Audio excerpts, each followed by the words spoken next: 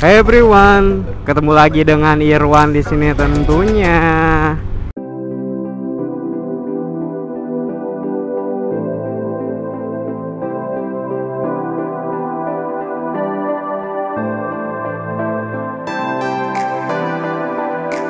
Apa kabar kalian semuanya?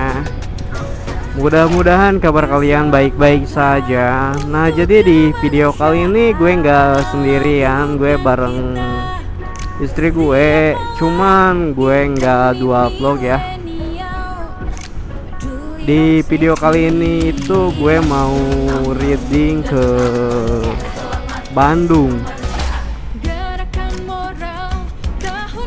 Jadi kita mau bikin konten dulu. Soalnya udah lama banget kita nggak reading reading. Ya mudah-mudahan sih cuacanya bagus ya. Tapi kali ini di sini sih cuacanya bagus banget gitu kan. Nggak tahu kalau misalkan udah nyampe Lembang.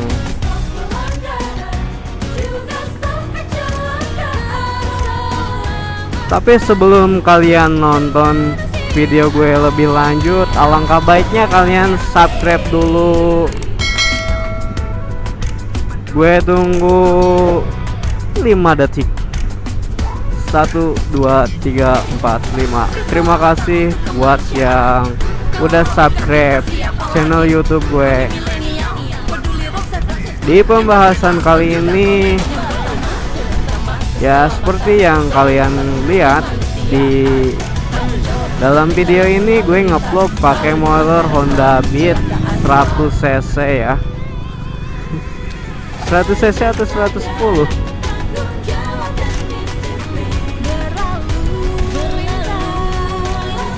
ya mudah-mudahan gue kembali lagi gear perlengkapan buat bikin video-video yang lebih sukses.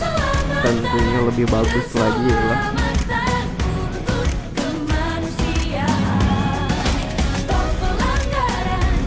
kalau kalian pengen tahu gue ngedit video itu pakai apa ya gue ngedit video itu sih masih pakai handphone ya. Pakai KineMaster Pro yang nggak ada watermarknya.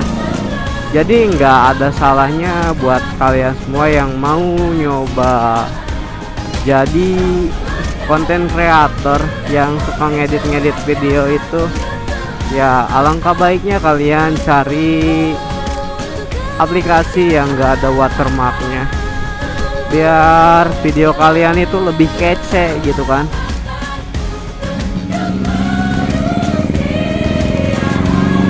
Duh.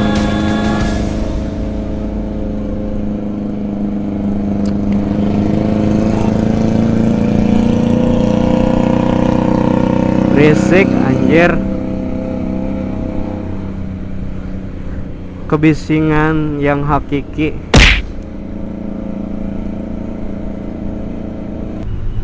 Jalanan mantep banget Kita nyoba cornering ala Irwan Motovlog.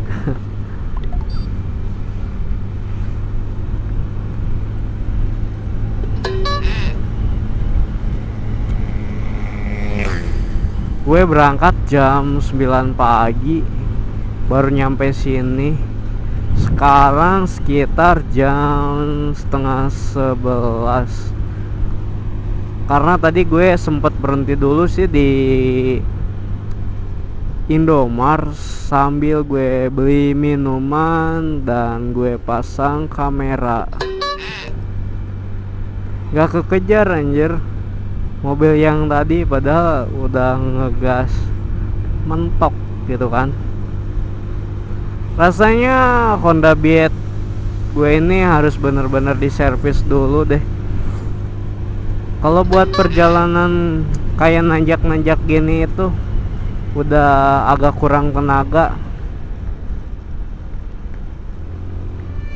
Harus diservis karburator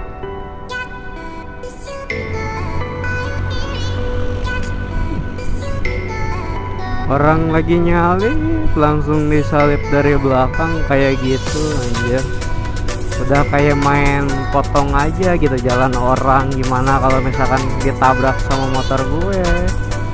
Parah emang orang tuh. Gak punya apa ya etika berlalu lintas. Terlalu maksa. Kalau gue sih kalau kayak gitu nunggu orang yang depan itu nyalip dulu kalau udah beres ya baru kita nyalip gitu kan. Nggak harus kayak gitu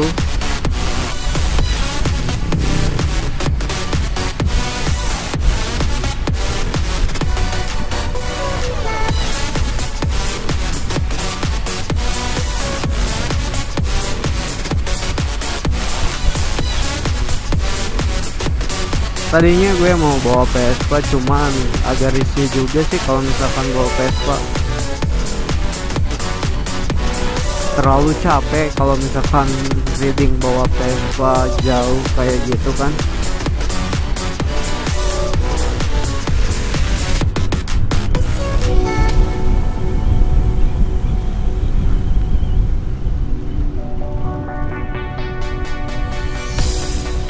soalnya reading kita kali ini itu ke daerah Lembang Bandung.